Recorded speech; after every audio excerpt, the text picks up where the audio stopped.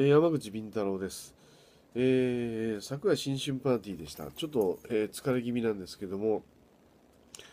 えーまあ、川崎の中1殺害事件に関して少し気になることがあるのでまた日記に記録したいと思います、えまずですね、あのいろいろ調べて調べていて分かったことらしいんですが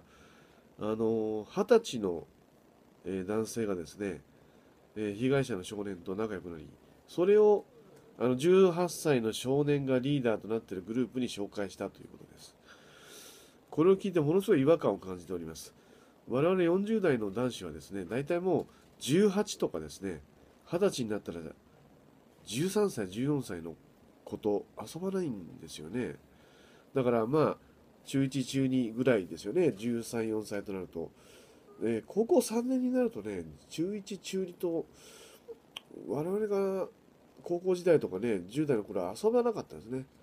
そういうなんかガキと遊んでると笑われちゃうみたいなところがあってですね。でましてや二十歳を超えた大人がですね、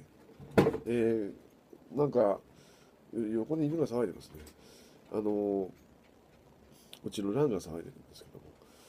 えーとでもなんでしょうね。あの二十歳を超えた大人がですね14の134歳の子供と遊んでこいついいやつだからってグループに入れたっていうんですけどなんかものすごい幼い感じがしますよね。あの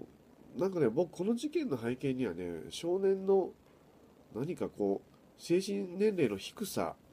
えー昔の子供に比べてですねかなり幼くなってる、えー男の子の精神年齢というのが背景にあるんじゃないのかなと思ってしまうばかりですね。だからちょっとこれは何かおかしいのかなといった印象を受けてしまいますよね。まあどちらにしろですね、あのもう事件まだ確定したわけではありませんけどもあくまで容疑者というか、えーという段階での今事情聴取、まあ、逮捕はされましたけど、えーが続いております。えー今後のちょっとまた進捗具合を気にしたいと思いますけども、